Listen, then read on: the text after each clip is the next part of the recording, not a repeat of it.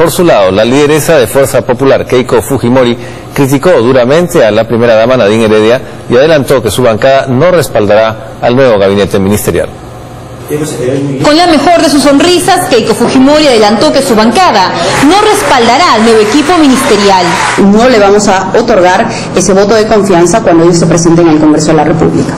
Keiko Fujimori arremetió contra la primera dama Nadine Heredia, a quien culpó de la renovación del gabinete y la salida de César Villanueva, a la que calificó de humillante.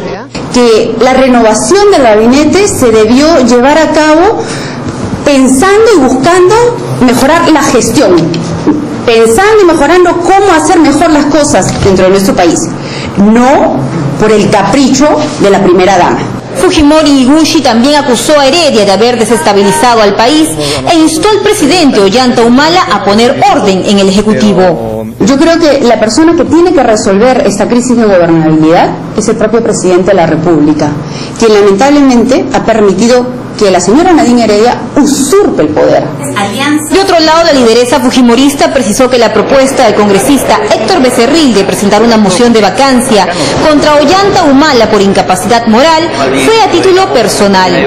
El señor Héctor Becerril me imagino que lo va a presentar dentro del grupo político. La próxima semana tenemos reunión de bancada y luego se debatirá.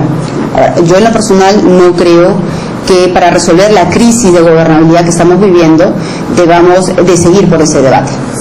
Para Keiko Fujimori la presencia de Carmen Omonte en el nuevo gabinete es prueba de la alianza entre el oficialismo y Perú Posible. Ella también consideró que se debe derogar el aumento a los ministros de Estado y someter a evaluación el de otros funcionarios. 5 y 52, vamos